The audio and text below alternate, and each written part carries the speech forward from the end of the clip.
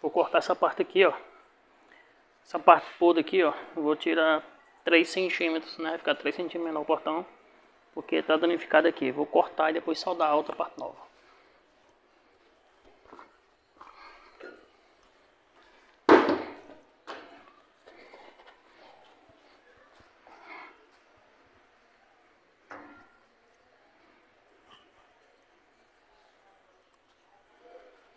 lá.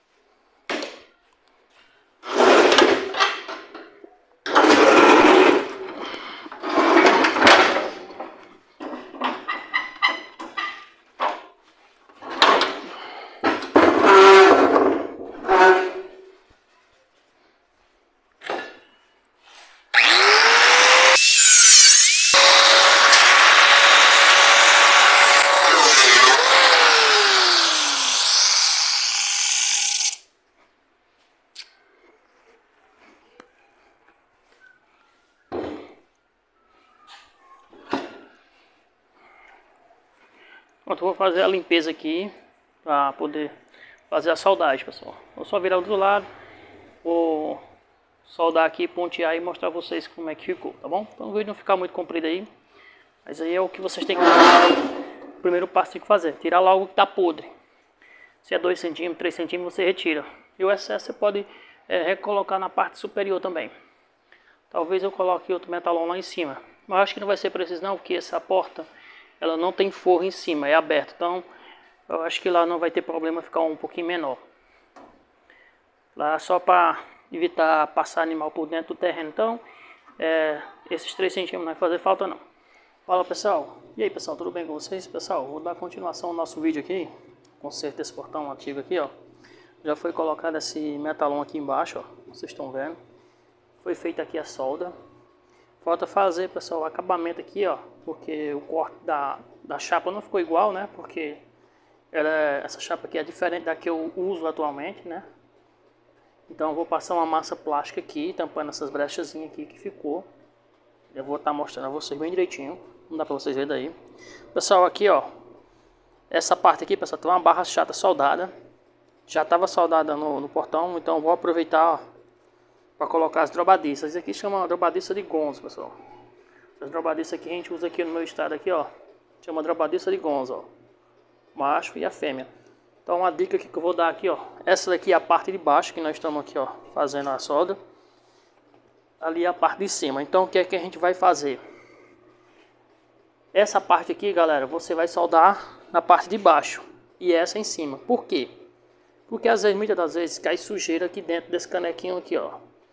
Aí isso faz com que o, a drabadiça ela, ela fique amarrando. Então eu coloco sempre assim, ó. Essa parte para baixo e essa parte para cima, beleza? Aí aqui, galera, ó. Esse portão ele não tem forra, ele é uma tipo uma cancelazinha. Você vai soldar ele aqui, ó, rente com metalon aqui, ó. Beleza? Pode soldar ele aqui rente aqui, ó, com metalon. Você vai soldar a parte de baixo. Você vai soldar aqui a parte de Deixa eu olhar aqui. É, a parte de cima. A parte de cima vai ser soldado aqui, ó, na porta. E essa parte de baixo aqui, ó, vai ter uma travinha aqui segurando ela aqui, ó. Vou colocar essa travinha segurando. Então você vai soldar só essa aqui, ó. Beleza? E o chumbador do portão, galera, vai ser esse pedaço de cantoneira aqui. Sempre aproveito esse pedaço de cantoneira, ó. Aí eu faço um corte aqui, ó. e viro. Aí fica essas orelhinhas aqui. Então, não precisa você estar tá cortando pedacinho de barra inchada, soldar. Já economiza, você só vira. Ó. Muito prático. Então, a cantoneira eu vou soldar na parte de baixo, beleza? Que é onde vai ser feito o movimento do portão, ó. Então, a parte de baixo vai ser fixa na parede e a parte de cima vai ser fixa no portão, tá bom? Então, para quem está começando agora, né, tô explicando. Para quem já, já é profissional na área, já sabe o que tem que fazer. Isso aqui é só, pessoal, para quem está aprendendo, quer aprender, quer descobrir como é que a gente faz os portões, os consertos, então é dessa forma, beleza? Então vamos lá soldar. Tô caçando aqui a minha luva, galera. Soldar aqui assim a luva aqui mesmo. Ó. Vamos fixar aqui, galera, a parte do portão primeiro aqui, ó. Eu vou deixar reto aqui.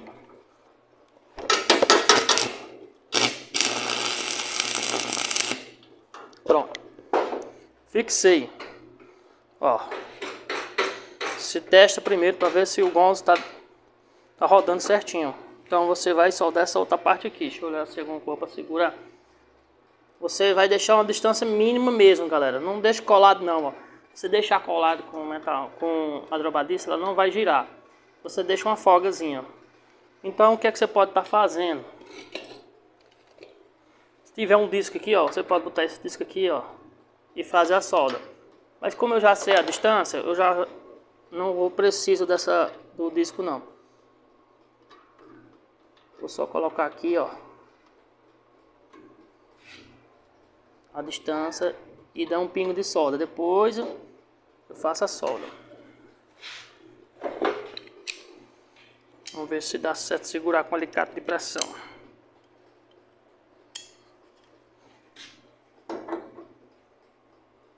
Pronto, galera. A brechazinha mínima mesmo, viu?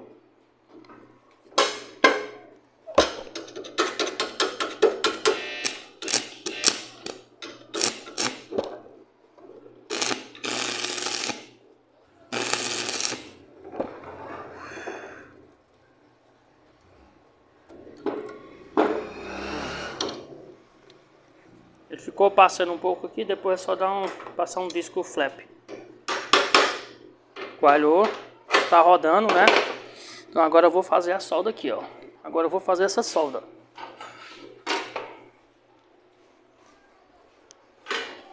Beleza? Fazer essa solda aqui para vocês verem aqui, galera, ó. Conferindo aqui, tá certinho com o portão. Então vamos fazer a solda. Caçar uma posição que dê pra vocês verem. Vou soldar assim pra vocês verem aí.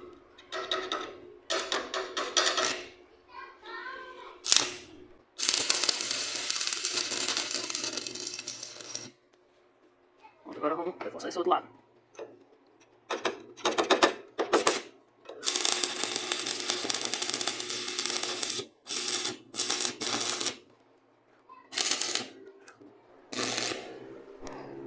Beleza? Então, galera, agora vamos fazer a solda dessa do da pecinha que está segurando o gonzo aqui, ó.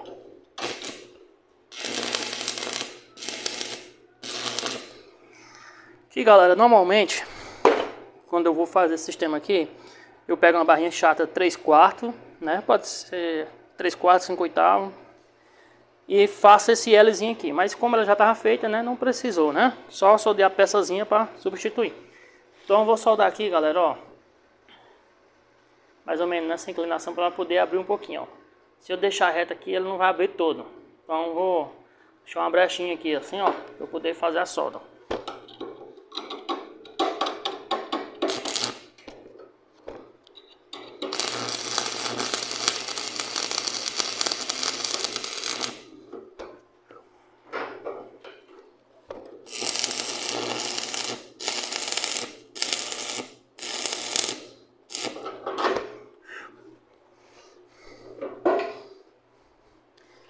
Aqui, galera, tá pronto.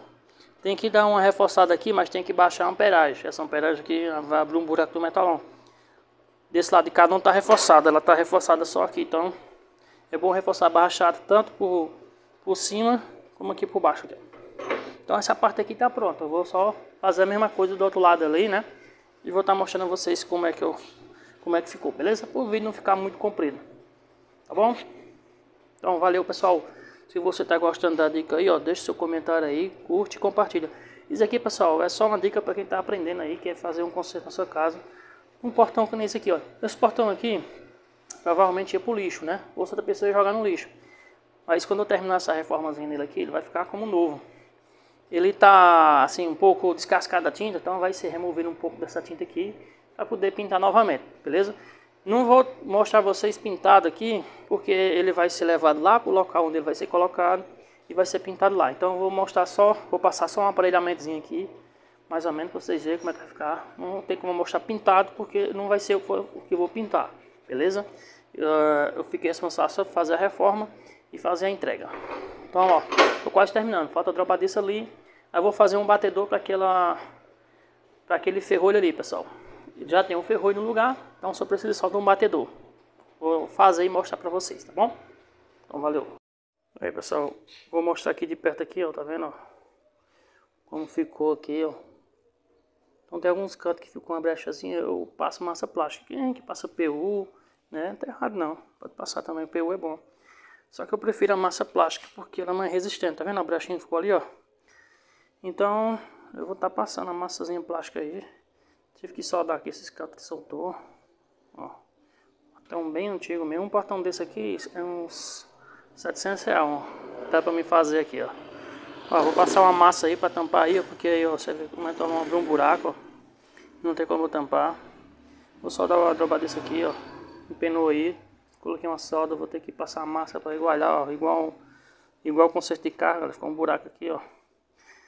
Então assim, se fosse me trocar a peça nova, era melhor fazer outro, né?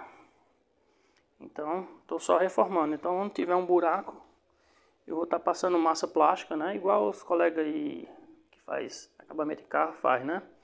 Passar massa plástica, lixar, né? Passar um sprayzinho, depois pintar.